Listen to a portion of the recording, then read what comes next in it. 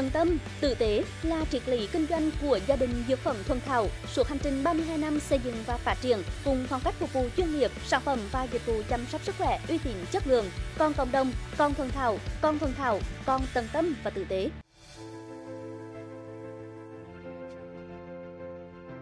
Sông hơi là phương pháp dùng hơi nóng từ các loại thảo dược, thuốc hấp thụ vào cơ thể để từ đó điều tiết thân nhiệt bằng cách tiết ra mồ hôi. Với phương pháp này có thể giúp giải phóng đưa các độc tố khí hư trong cơ thể ra ngoài theo tiếng mồ hôi. Đây là phương pháp có từ rất lâu và được gìn giữ phát triển cho đến ngày nay. Hiện với sự ra đời của hàng loạt các máy xông hơi gia đình, phòng xông hơi khô, ướt thì phương pháp này càng được sử dụng rộng rãi trong cộng đồng. Tuy nhiên, người bệnh cần những hiểu biết về tác dụng điều trị cũng như những lưu ý mới có thể áp dụng đúng và có hiệu quả.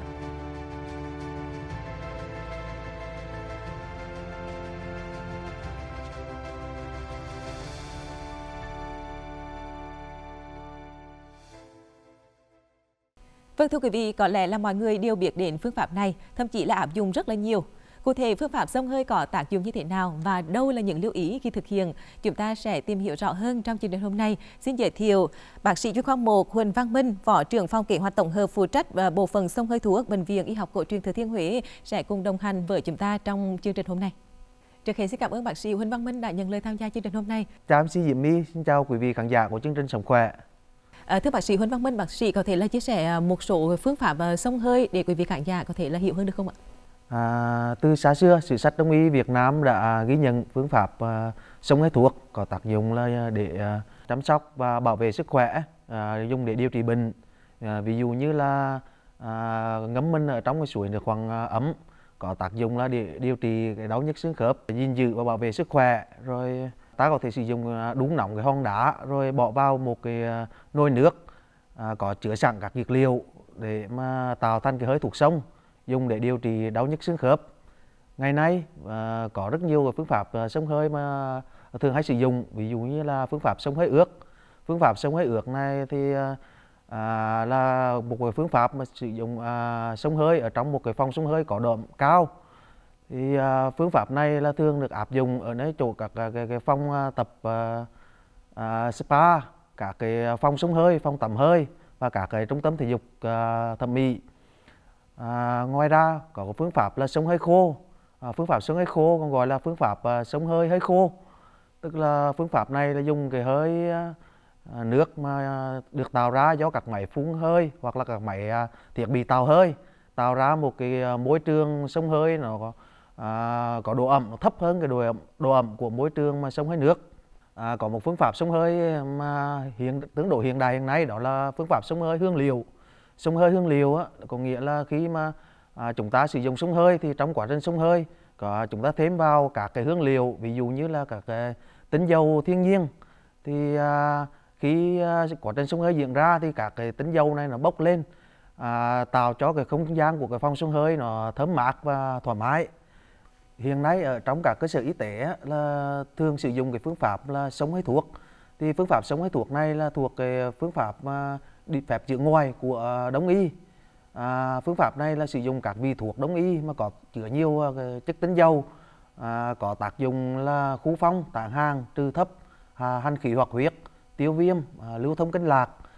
À, phương pháp này là, là tạ, à, khi sử dụng thì à, nó có tác dụng là phía tác động lên các bộ phận ở phía bên ngoài cơ thể giống như da gân cơ niêm mạc à, dùng để điều trị các chứng bệnh khác nhau Vâng, như vậy thì có thể thấy rằng là rất là nhiều phương pháp mà sông hơi được ờ, áp dụng từ xưa cho đến nay. Ờ, đối với phương pháp mà sông hơi thuốc thì nó mang lại những ờ, ưu điểm và cái hiệu quả điều trị như thế nào? À, từ xa xưa, phương pháp sông hơi thuốc được cha ông ta là sử dụng và lưu truyền cho tới ngày nay. À, với những cái nguyên liệu mà xung quanh ờ, môi trường sống của chúng ta rất dễ dàng để tìm kiếm, à, có tác dụng điều trị à, như là các ừ, loại bệnh thông thường như cảm mạo à, trị ho à, điều trị các bệnh ngoài da. Với tác dụng tuyệt vời của cái hiệu quả của phương pháp sông hơi ừ, nhưng mà à, lại ít à, tốn kém. Thì à, phương pháp này là, là có một cái hiệu quả rất là tuyệt vời thì à, ngày nay với sự ra đời của các à, cái máy sông hơi tại gia đình với nhiều phương pháp sử dụng như là sông hơi khô sông hơi ướt thì à, càng đem lại cho chúng ta quá trình sống hơi nó thật là thoải mái. À, phương pháp sống hơi có tác dụng là à, kích thích hệ tuần hoàn hệ tiêu hóa à, hệ thần kinh có tác dụng chống stress à, chống lão hóa à, đặc biệt là giúp cho cơ thể chúng ta giải phóng được những cái cơn đau do có cứng cơ à, có cứng khớp.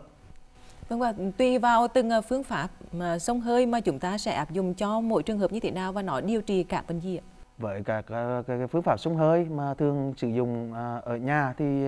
à, có thể là sử dụng các cái, cái cây thuốc hay thảo dược ở à, ngoài môi trường sống của chúng ta để dùng để điều trị những cái chứng bệnh như là cảm mạo, đau nhức xương khớp, có cứng cứng cơ. À, còn tại các cơ sở y tế thì thường là sử dụng các cái vị thuốc đông y mà có chứa nhiều chất tinh dầu à, để điều trị những cái chứng bệnh mà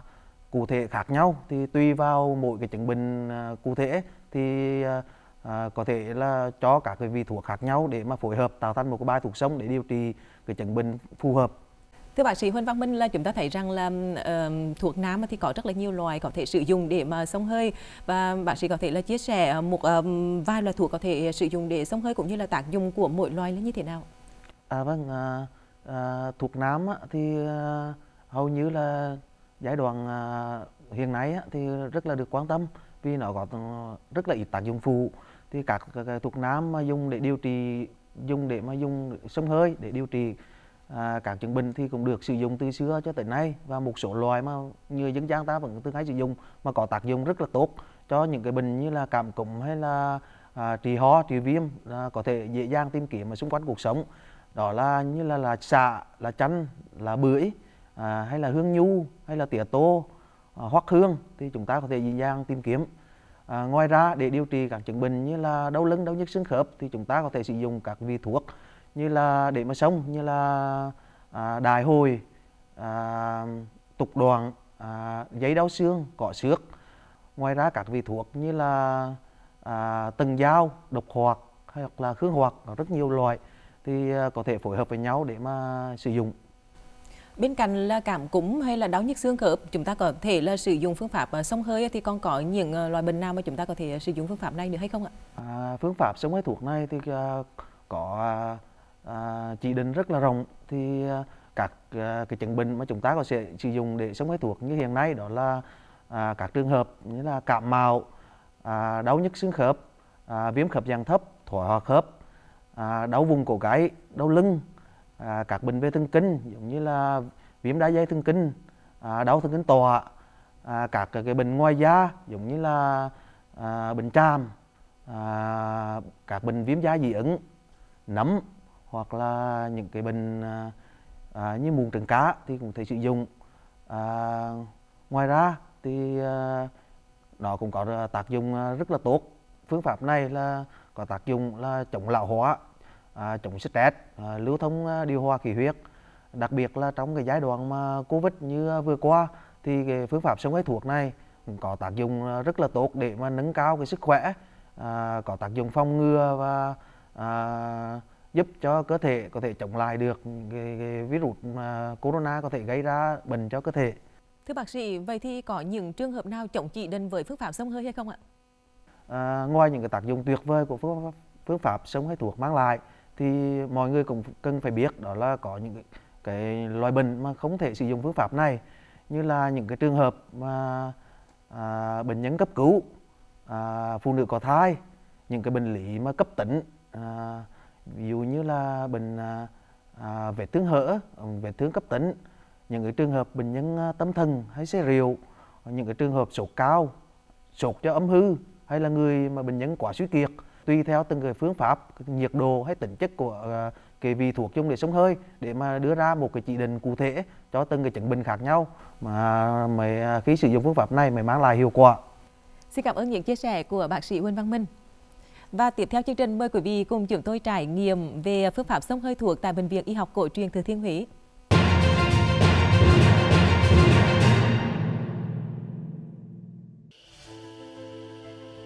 Đây là trường hợp một bệnh nhân bị tai biến mạch máu não đã hoàn thành can thiệp điều trị theo phương pháp Tây y. Sau khi ra viện, bệnh nhân gần như bị liệt nửa người, không vận động đi lại được, kéo dài khoảng một năm. Sau đó, bệnh nhân được giới thiệu đến trị liệu tại Bệnh viện Y học cổ truyền Thừa Thiên Huế bệnh nhân được chỉ định điều trị bằng các phương pháp như châm cứu, vật lý trị liệu. Đặc biệt, kết hợp với phương pháp xông hơi thuốc giúp bệnh nhân lưu thông kinh mạch, khí huyết, phục hồi nhanh hơn. Đến nay, tình trạng bệnh tiến triển tốt, bệnh nhân có thể đi lại, vận động dễ dàng. Phương pháp xông hơi thuốc tại bệnh viện ngoài giúp điều trị các bệnh thông thường về thần kinh, cơ xương khớp, còn làm giảm stress, tạo cảm giác thư thái thoải mái tinh thần nên được nhiều bệnh nhân lựa chọn trị liệu. Thời gian đầu là coi như mình liền nửa người luôn, đi không được, phải có người dìu. Đó mà thời gian cũng, cũng hơi lâu lâu cũng còn hơn năm lần, sau đó mới đến đây để mới chấm cứu, chấm cứu còn thêm là về, về, về à, vật lý trị liệu á. Là họ nặng tay nặng chân bây là một có mấy điền súng á. Đó với tư trường trọng ngắn đó rồi điều trị đấy khoảng hơn năm những người mình thể đi được. Đó nó tiên triển tốt. Người mình nói chung là, là cũng bớt cũng được bảy phần trăm đó. Đó mà trước kia là mình chiều cứ nghĩ là coi như phở thạc thôi. À, nhưng mà sau đi đi cũng mừng đó.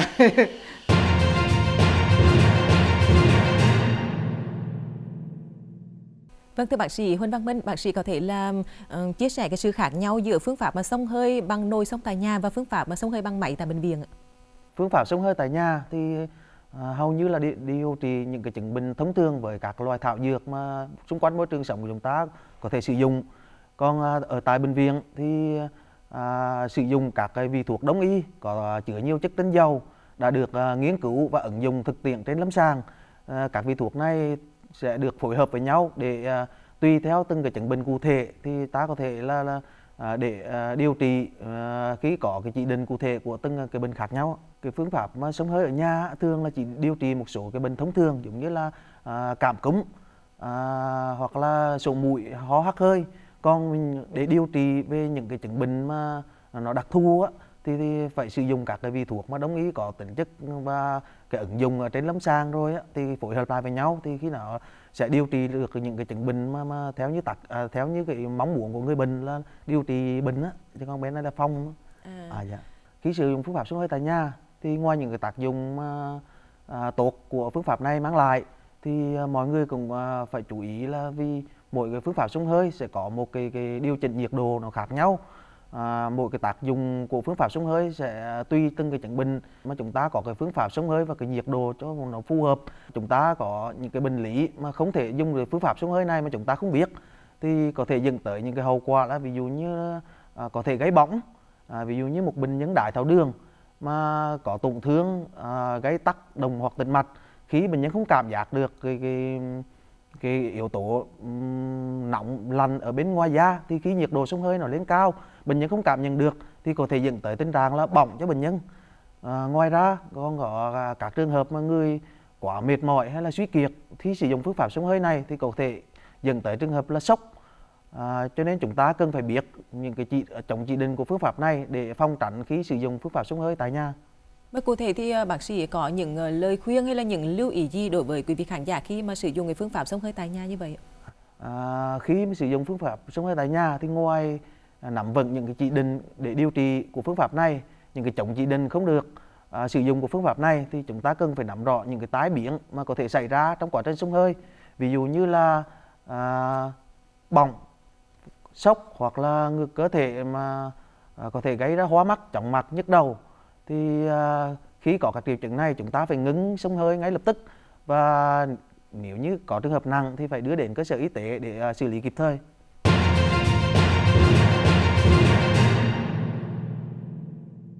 Với chủ đề này chúng tôi cũng đã nhận được à, nhiều câu hỏi của quý vị khán giả và câu hỏi đầu tiên chúng tôi nhận được trên fanpage của phòng văn nghệ và khoa giáo. Xin bác sĩ tư vấn một số loại thảo dược dùng sông hơi để trị bệnh đau lưng.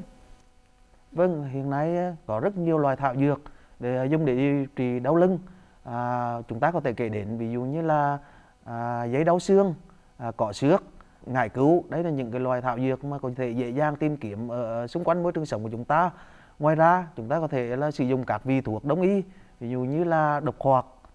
khương hoạt tân giao phong phong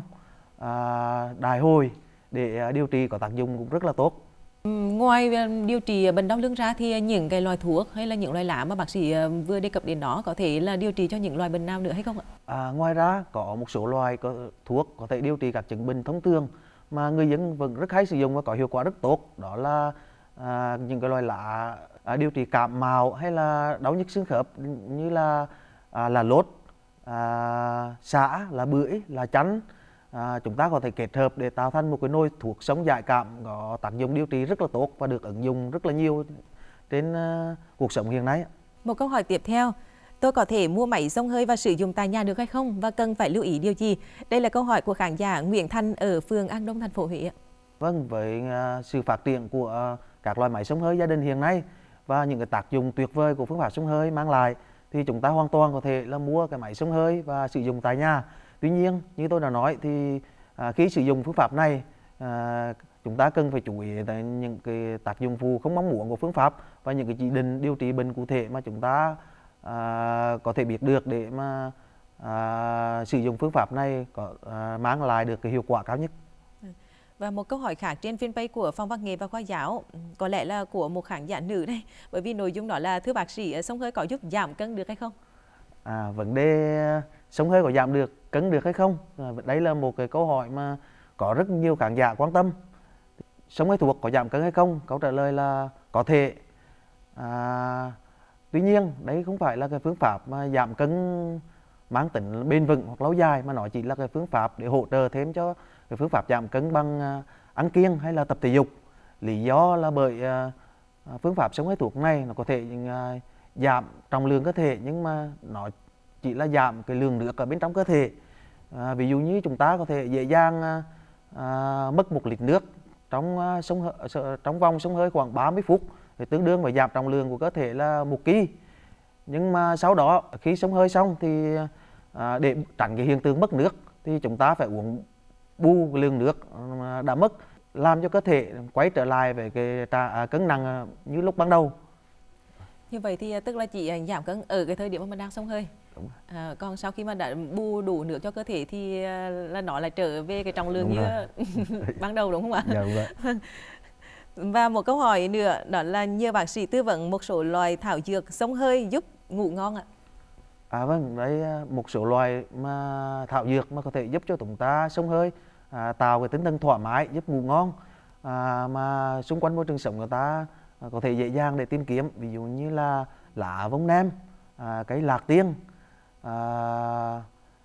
cái ngải cứu hoặc là chúng ta có thể sử dụng các vị thuốc có chứa chất tính dầu có tác dụng à, à án thân thứ thải dễ chịu ví dụ như là tấm sen lóng nhạn à, bình vôi à, tạo nhân hay là viện chỉ chẳng hạn một lần nữa xin cảm ơn bác sĩ chuyên khoa một Huỳnh Văn Minh đã tham gia chương trình hôm nay. Thưa quý vị, mùa đông lành hẳn là mọi người sẽ dùng nhiều đến phương pháp sông hơi và hy vọng chương trình hôm nay đã mang đến cho quý vị những thông tin và lưu ý bổ ích để thực hiện đúng và có hiệu quả. Cảm ơn quý vị khán giả đã tương tác và gửi câu hỏi đến chương trình. Xin kính chào và hẹn gặp lại quý vị trong các chương trình tiếp theo.